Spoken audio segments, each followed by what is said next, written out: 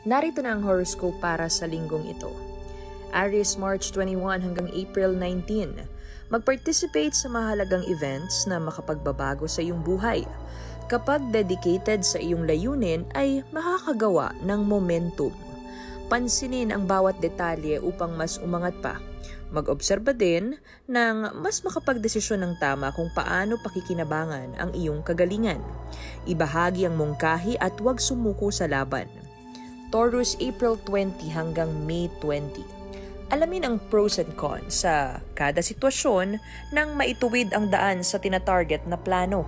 Huwag basta magpadala sa mga tukso at maging totoo. Kaunting karisma at sagana sa determinasyon ang susi sa tagumpay. Maging makilati sa taong nag-aalok ng oportunidad nang makaiwas sa kabiguan. Alamin ang totoo at iwasan ang maging emotional sa desisyong na isagawa.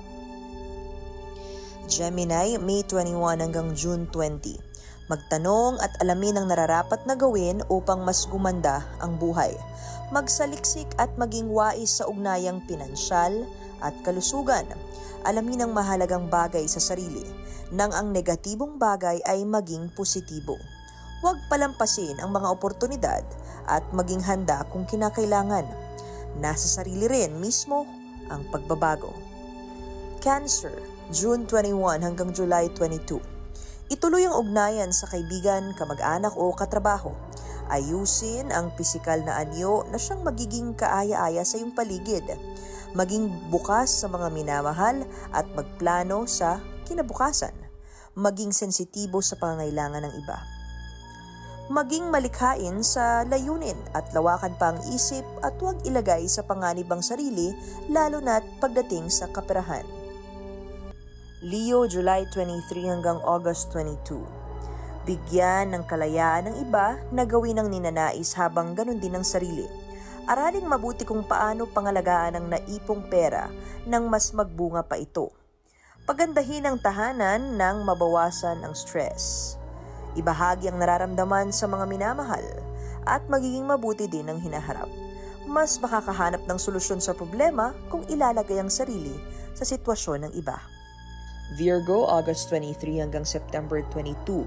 Isikreto ang mga bagay kahit na anong mangyari.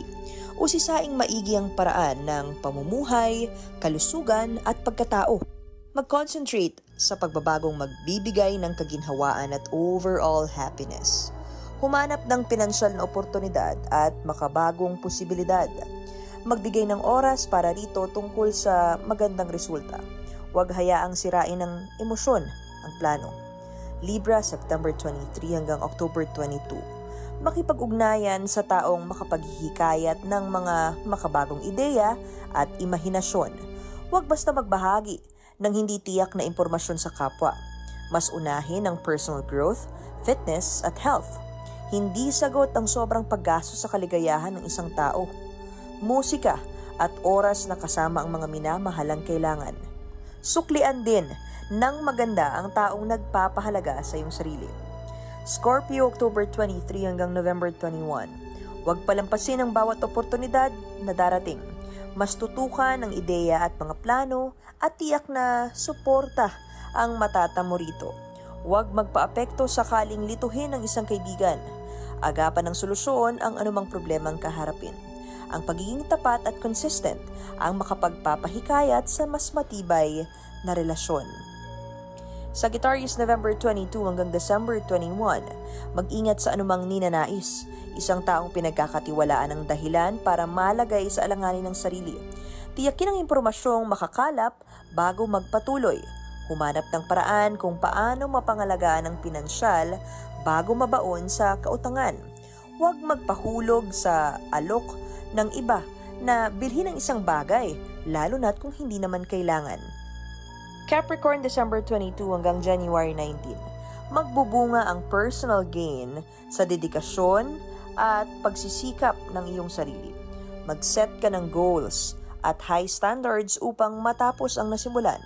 Huwag gawing issue ang bawat bagay at piliing maging payapa na lamang maging bukas sa taong pinagkakatiwalaan sa sariling mungkahi at nararamdaman upang mas tumibay pa ang samahan ng isa't isa.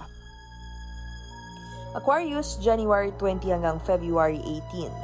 Pangalagaan ng sariling integridad at maging aware sa ugnayang kinakaharap. Tutukan kung ano ang kayang gawin at kalimutan na ang hindi kayang baguhin pa. Ayusin ang dokumento, ipinangako at ituloy lang ang plano. Panindigan ang mga bagay na gustong makamit at kalimutan na ang hindi magandang nangyari sa iyong nakaraan na siyang sisira sa magandang kinabukasan. Pisces, February 19 hanggang March 20.